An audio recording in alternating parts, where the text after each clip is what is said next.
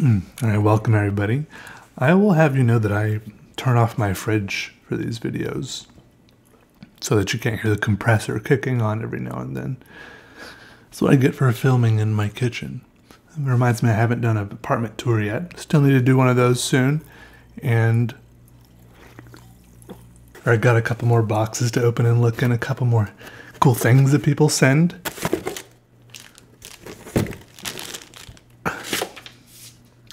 Says Peter, your YouTube channel has given me tons of enjoyment. To say thanks, I sent you one of my favorite indulgences, this shaving cream. It goes a long way and will make you smell like a king. Thank you, Mark. Sandalwood shaving cream. You might notice that I haven't been shaving recently due to a large amount of laziness on my part. But I do want to smell it really bad. Oh my goodness. I've never really never really used a lot of shaving cream in my life, to be honest. Mostly because I when I do a really close shave, I oh it does smell really good. When I do a really close shave, I get like pimples and stuff, so I usually just use the a trimmer with no attachments, just like almost a, a far shave. It does smell good. It smells it smells really good. Can I use it without shaving? Just like rub some of it into my face and then rinse it off. Very tempted to try eating that. I'm sure everyone wants me to really bad, but I'm not going to. That's a cool gift. That's a very cool gift. Very thoughtful and intimate. We have a box, if you don't mind. It looks like knitted things. This is perhaps a scarf. Maybe not very forward thinking of me in the fashion area to assume it's only a scarf, but um, I just don't have a lot of experience with this sort of thing. But that's what it seems like to me. It's comfy and warm and soft. I would recommend it. If you had it, you would put it on like this to maximize how much it touches your face. My voice is going away. Why is it doing that? I'm sick right now. I'm sick, but I'm st- still making the video. Mm, excuse me.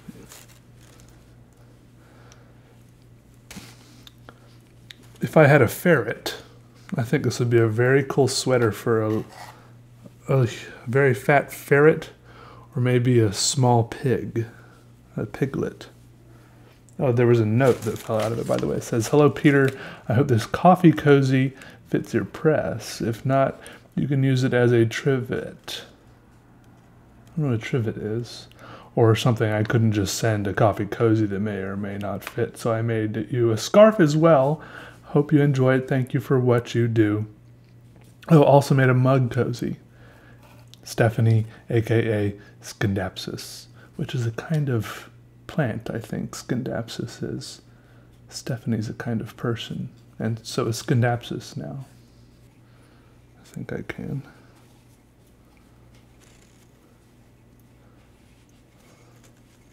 Slide that on there. It's too cute. Even has a little button right here. Button it up. Bloop. Look at that, you're good to go. Kind of late, but I guess I could make a little coffee just to see what a, a fresh pot of coffee is like with and, and see how this goes on the, the the the what's it called a French press. It could also be a hand muff. Is that what those are called? A stole or something? A muff? Put your hands in here and warm them up with each other. It's like it's like a hoodieless hoodie pocket.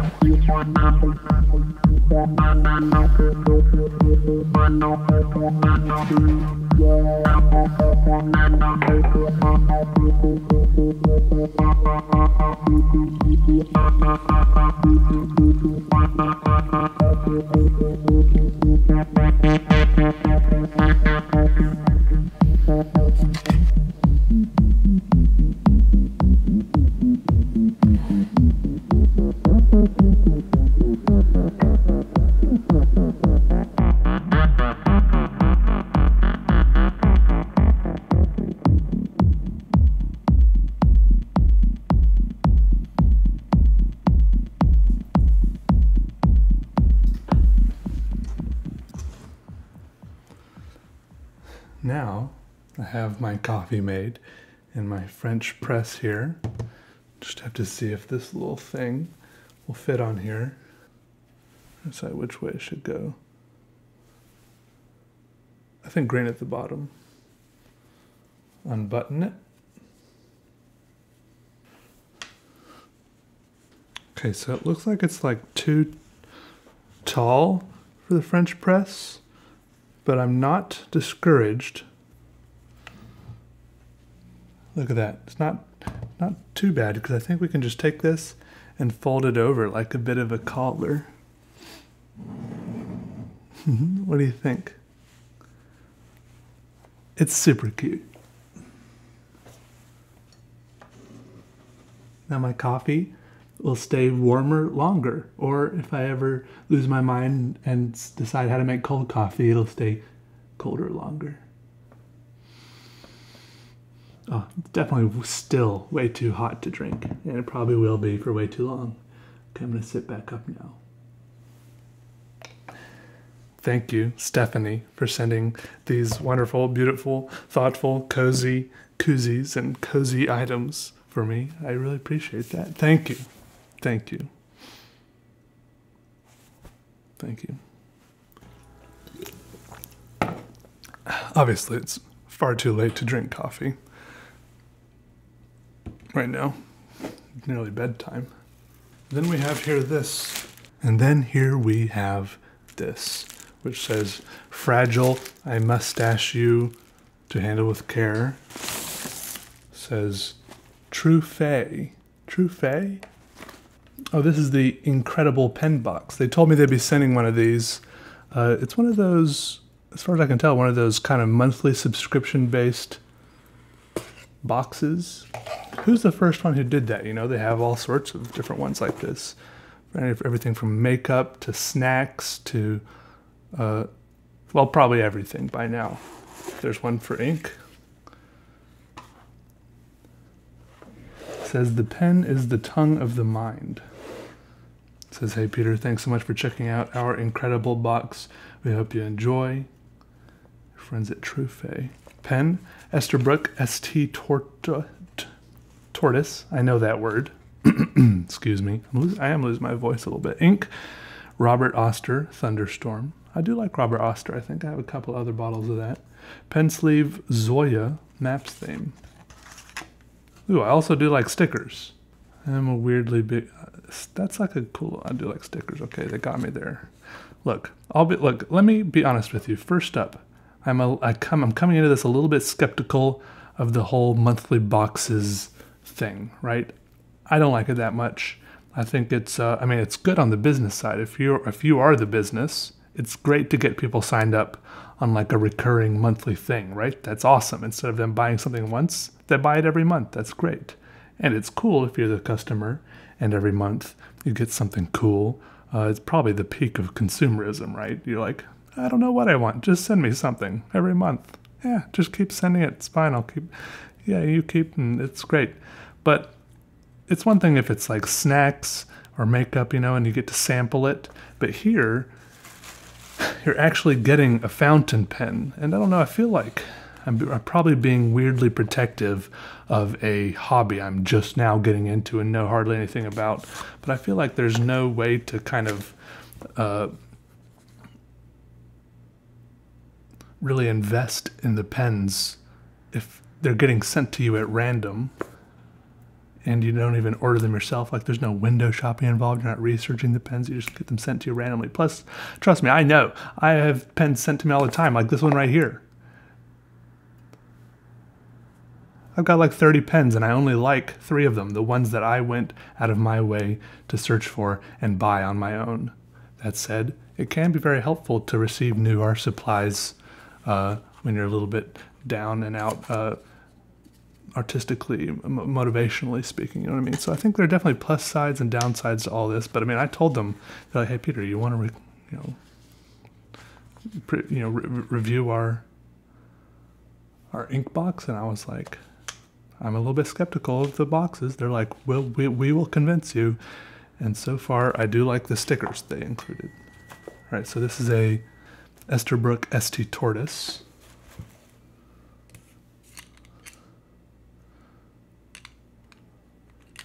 Now this is interesting. It's a little bit like spring-loaded, pushing it in there, then you twist.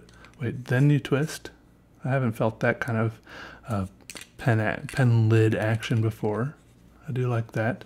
So tortoise, this is kind of a, an old-fashioned uh, pattern here that you'd see on like tortoise shell glasses and stuff like that. Oh, good, a, a piston converter. Excellent. That is what I like to see. And there is also a tiny gasket right here, a little seal, just to keep everything in order. The nib says Esterbrook on it. 1858. A little bit stiff, maybe. I can't tell right here. Here we have the Robert Oster fountain pen ink, thunderstorm color. What do, what do you think that'll be? Yellow? Blue?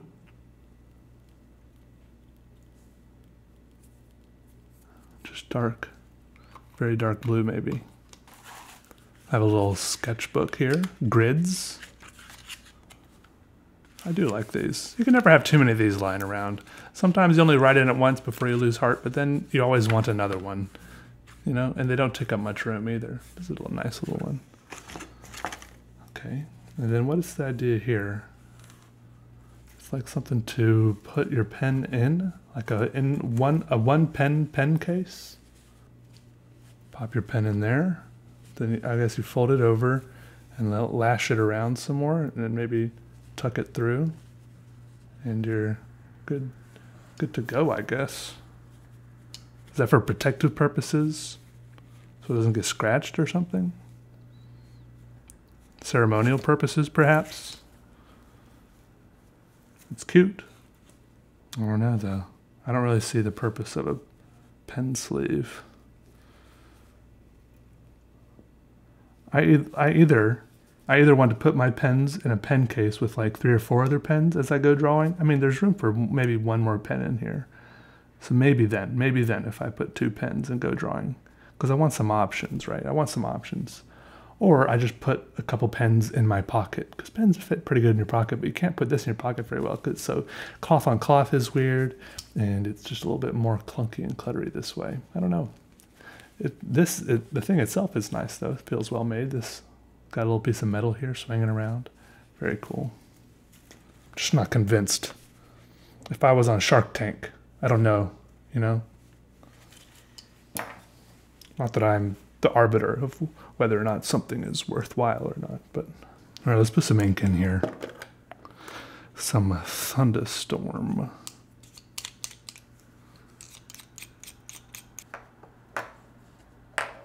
So my understanding of these pen boxes is that there's different different levels, like a 25, 75, and 150 dollar per month thing that you can sign up for, right? And I think I got the most expensive one here, the 150 dollar per month box. So it seems a little crazy, but people are really into this sort of. People love monthly boxes, and people love pens, right? They love art supplies. So also, I just looked up this pen on the internet, and just a plain like ebony black version of it is $150 by itself. So if you pay 150 bucks for this box, you're already getting $4 off plus this little sketchbook, the ink, the pen case for free, and when you sign up for the box, it looks like you can choose. You can like select whether you like fountain pens roller ball pens, felt tip, you know, more pads and little booklets, less pen cases, stuff like that. So I'll give them the benefit of the doubt there. They do seem to be able to customize it a little bit for you, which is good, I guess. All right, let's see if this, okay. It posts. Okay, right on, right on. The cap sticks on the back. I have a little sketchbook here of my own. This could be used for trying out pens. Let's see. It works. It's working. It does feel good in my hand also. It's got a good heft weight. I don't know about this. Oh, it's all right. Uh-huh. Uh, so it doesn't flex much, but the line it puts down is very satisfying. I'll give it that.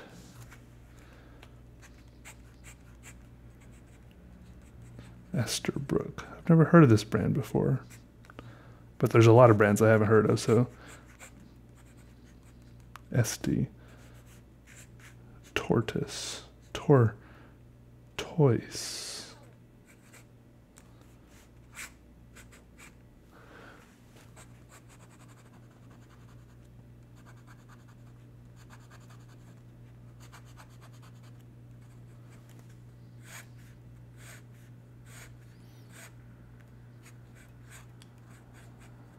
Right, so let's try drawing with it. I like it. I like the lines. Let's try. I'm down. I'm ready. I'm excited. Do I look do I do I look like it? All right, so I started drawing, and it, this pen actually draws very satisfyingly, very well. The ink comes out well. It doesn't flex a lot. The pen, there's not a lot of different variation in the the lines it draws, but you don't need a lot of variation when every line is satisfying juicy, thick, and just it just slobbers the ink onto the paper in a way that that I really enjoyed, and I couldn't stop drawing. Now this loot box, uh, I'm not really sure when this all this this hype, this craze for monthly um, um, boxes of unknown goodies really got started, but it's a thing, and uh, I just want to tell you, I just want to be clear with you, this is not a paid promotion. Um, they just, but besides the fact that they sent it to me for free, I will be very clear with you, and I'll make it very clear if something is ever a paid promotion, like if someone sends me something and then they also pay me in addition to giving me the free stuff. That very rarely happens on this channel because I don't know. I feel like if they pay me in addition to giving me the free stuff, then I I lose some sort of uh, leverage, and I feel like I have to say good stuff about it. But I like being able to say whatever I want, right? I, I feel like if they just send it to me, then I can I can just give you an honest review. And I think loot boxes are a little weird, but I don't know. I uh, but look, that's coming from a guy who gets a lot of crazy things in the mail from amazing fans like you all the time. So I don't need loot boxes. So maybe for people like you, loot boxes are a great idea. So I'm biased. Maybe they're great for you. I don't know. But the pen works great. The pen is cool. Uh, I told them I would put a link to their website down in the in the description. So if you are interested in a loot box like this, is that what they're called, loot boxes? Go check it out. Also, you might have noticed if you watched very carefully down at the beginning of the video when I was opening up that uh, that little canister of shaving cream. Is that what it's called? Shaving lotion, uh, balm. I did accidentally taste a tiny bit of it. And that is not something I would recommend that you do unless you love the taste of soap. I've tasted a lot of weird things on this channel. I've tasted coffee, like ridiculously strong concentrated coffee. I've tasted all sorts of kinds of ink and paint and uh, like chemicals for thinning out paint and thickening paint.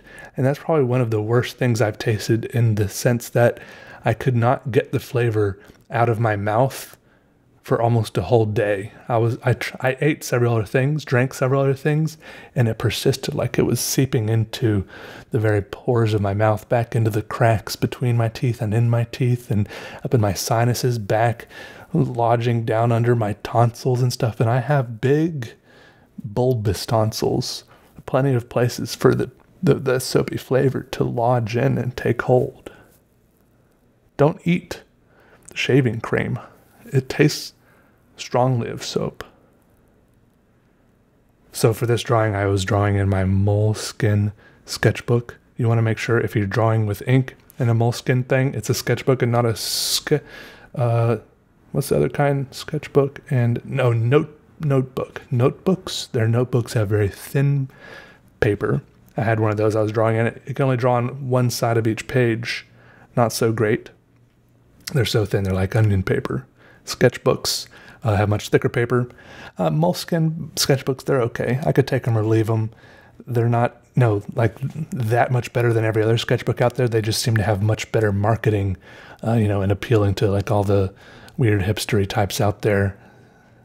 Uh, it's just another sketchbook as far as I'm concerned, but they're not bad either. If you want to draw on something, a Moleskine's fine, but you don't need it. All right, so thank you everyone that sent me something else that I showed in this video. Another just wacky, weird, and wild video where I spent the first, uh, you know, nine tenths of the video taking things out of boxes. And I hope you like that little song I played for you there with my Moog Workstat 01. Added the drums with Ableton, little Peter Draws original song. And uh, I don't know. I was about to say something else and I forgot. But thank you for sending things, people. I uh, hope you enjoy the videos. Uh, I would recommend this pen. Very cool pen. Feels good in your hand. Feels good on the paper. And it comes with it comes with a a, a, a converter a converter piston, whatever the heck these are called, in there. You don't. I, that's what I've noticed. The $150 pens seem to come with the converter in it. And then if you just spend a measly $20, $30 on a pen, they don't come with the converter in it. They don't throw that in for free. You know, they're not running a charity apparently. So you got to splurge on the extra eight dollars or whatever to get the little piston converter in there. I don't know. It's quite a racket. I gotta I gotta figure out how to get into the pen biz, but that probably mean less drawing and stuff on my my end. So probably won't. Maybe I can license out my name or something. Also seems like a lot of work. I gotta find an agent, but that also seems like a lot of work. I just want to keep drawing, man. I need to find an agent. To find an agent. All right. All right. Goodbye, everybody. Thanks for watching. Take it easy. All right. Love you. Bye.